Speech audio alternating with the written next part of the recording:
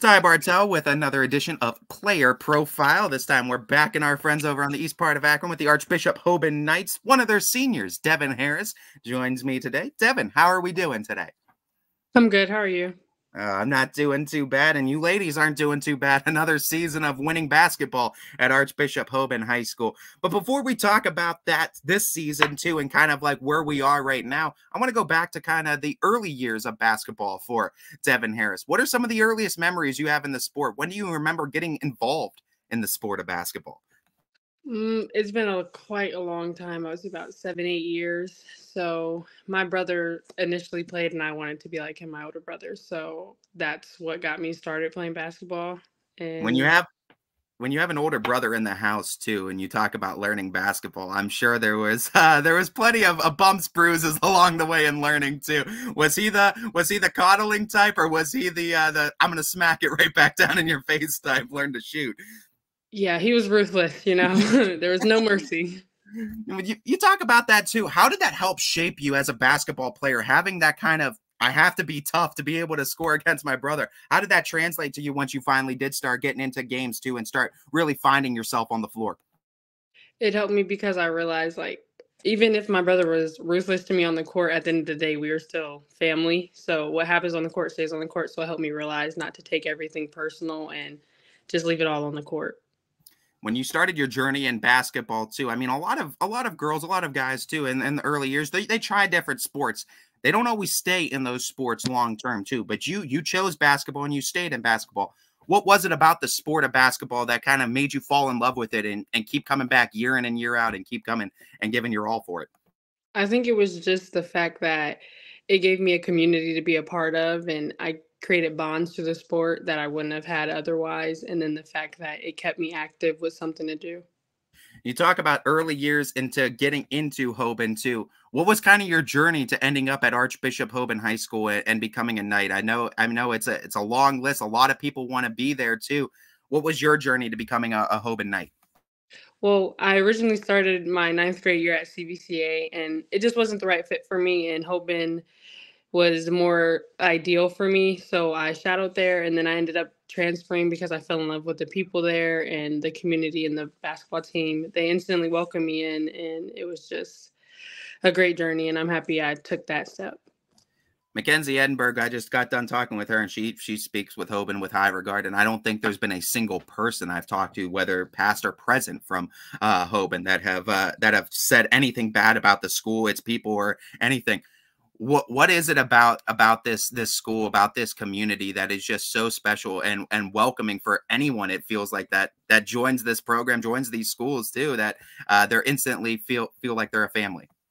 It's just the community that they have created and the um I'm trying to think of the word. The relationships that they foster there and being able to just have everybody welcome you with open arms and just not feel judged and be welcome. It's a great experience. You talk about that that community. They come out for some basketball games, man. They come out for any sports. I mean, really, they they they show up and show out. What's it like though when you when you go into a girls' basketball game? No matter who the opponent is standing across from you, that you know you're going to have that castle filled up and and the stands are going to be rocking. It feels amazing knowing we have that support behind us you look at that support that you have too. What does that do? How how much does that drive you girls when you have those home games? You got one, maybe potentially two more for sure uh, coming up at home in the sectionals too. What's that home support really do for you? How much does it drive you? It just makes us feel like we have something to play for. We play for what's on our chest and we play for each other. I like your play style a lot too because you're very I'm going to do whatever the team needs me any given night. I mean, and you'll put up numbers in any given category. It doesn't always need to be scoring. It doesn't need to be rebounding. It doesn't need to be assists, but you could do any of that too, as well as play some pretty stellar defense. What's that men- uh, mentality like to be going into any game saying, you know, I don't need to be the scorer, but if the opportunities are there, I'll take it too. What kind of mentality do you need to have to be that kind of team player? You have to have the mentality of the strength of the pack is not the wolf, but the wolf is the strength of the pack. I think I said that the right way. But um, just being able to do whatever you need to do for your team at any given moment and not being selfish, you have to put the team first.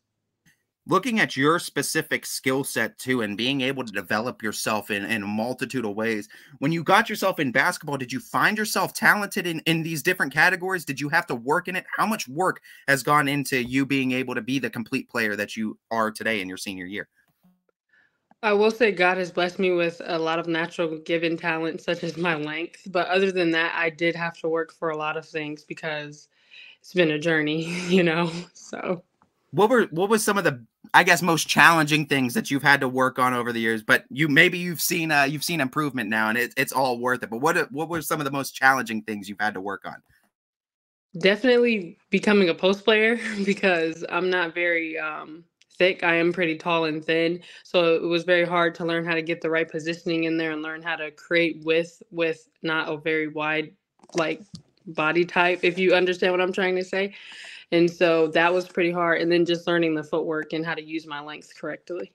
I, I, hear so many times too from so many high level, high school, college level uh, coaches too. Footwork is just everything too. It, it, it is the key to success in so many aspects in that sport. You look at yourself too and what you've been able to improve of yourself physically and as a, as a player too. But coming into senior year too, three seniors on the team, you're one of the leaders now. You're one of the girls that all the other younger girls are are going to look up to. What'd you have to learn about yourself as a leader, and what have you found out about your kind of leadership style going into the senior season? Well, I feel like I had to learn about myself that you can't make everyone happy if you're a leader. Sometimes you do have to be harsh on people and you will lose friends being a leader, and that's okay. And my leadership style is more trying to guide people through things instead of like harping on them. But at the same time, you have to be stern so they can learn.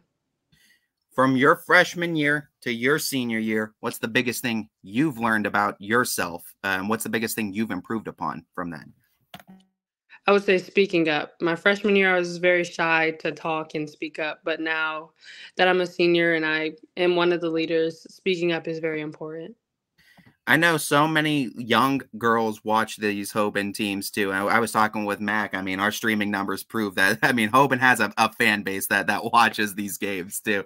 But I know so many young athletes too look up and admire the girls that they see at the high school level.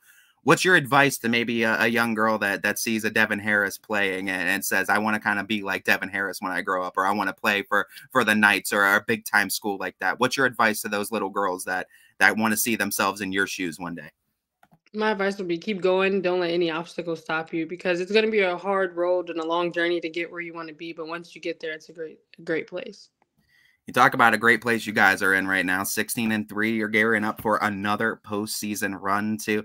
I was asking Maca this a little bit earlier. I want to ask you, too, being a senior and being on these playoff runs, too. I know you girls are accustomed to district championships. That's only a, a thing that you guys have been doing for some years over there at Hoban. But I always know that Hoban community, you guys strive for more. You strive for greatness. You strive for for the top prize every time. For you girls to have that kind of that big tournament run, I feel like it's that second season, right? Everyone needs to lock in. How do you lock in for playoff games? Is it a different mentality or is it business as usual for you? It's the same thing, business as usual, and we just got to keep going. When, when you talk about though with win or go home, does that ever sit in the back of your mind subconsciously, or is that something you're not really thinking about during game time? I don't really think about it during game time, but in preparation, we all we have to be perfect because it is win or go home, and we're not ready to go home yet. I know, I know. Mac was talking about the keys to this team, and her opinion was the defense too, and I'm, I'm sure a lot of people would agree too. We got to see your defense on full display against Wadsworth as a team. Talk to me about the defense, how you girls have been able to adjust. Obviously, there's been some injuries. You don't have everyone you started the season with, too. How have you girls been able to adjust and still maintain that strong defensive front? Our coaches are very, um, very credited in the preparation for learning how to switch our defenses, losing players to injuries, but being able to trust our coaches and trust each other and our rotations and knowing that – if one person has to guard head up, we all have to help also off the ball because defense is a team effort. Pretty great set of coaches too to to trust too. I mean, I, I was saying as well, like the the she Pam Davis knows more about basketball than I think I could ever learn to in girls basketball too. She's she's an endless well of knowledge. When you talk about having such great coaches like that too, what are some of the biggest things you've learned from from your coaches too, and how have they helped you out in your progression as a basketball player? coaches, and they're amazing people, and just learning and being able to be listening to them and just get the experience of being coached by them, they've helped me grow as more than just a basketball player, but as a person also. Take us inside some of those uh, those practices too. I obviously I don't want you giving away the the book on a Coach Pam Davis practice, right? But what are some, I guess, uh, some Pam Davis quotes too? What's her What's her favorite go to sayings that uh, that she says all the time? Hmm. She has quite a few. I'm trying to think. What would be a good one? I don't know. Coach Pam, she's great. She says a lot, but she doesn't say a lot at the same time. So I'm not really sure what a great saying of hers would be. She she's one of those too. When she talks, you listen absolutely too. And I know she's probably got plenty of those those Pamisms. I guess you could you could call them too during uh, during practices as well. When you talk about the practices though with the girls too, and I know oftentimes Coach Davis talks about if practice is harder than than the game, then the game's going to be easier than than we expect, right? When you talk about these tough practices that you girls are able to go through, how well does this condition you for games too? And how tough? Run me through a Hoban Knights practice too. How tough is one of your practices? Oh, our practices they're they're pretty tough. They're not easy. So our practices definitely help us prepare for the game. The amount of everything that we do when we see it in a game, we realize like we're not tired or we can finish this play or we can keep going. Devin, I also want to give you the opportunity to give a, a, shout out, give some love and support to those who have been there to support you since day one, whether they're in the stands, they're at home watching on YSN this season, or wherever they may be. Who's those? Who are those that have been there supporting you since day one in this basketball journey? My whole family. They they've never given up on me. Anytime, even though I wanted to not keep playing, they were like, "You got it. You can do it." So my whole family, I'm just so thankful for them to mentally help me keep pushing through everything you talk about the the family. I mean, it's always those unbreakable bonds. So I, I, see the fam that are always up. There's some in the balcony. There's some on the floor too. They're always there supporting you too. And you got a great family and a great support system around you as well.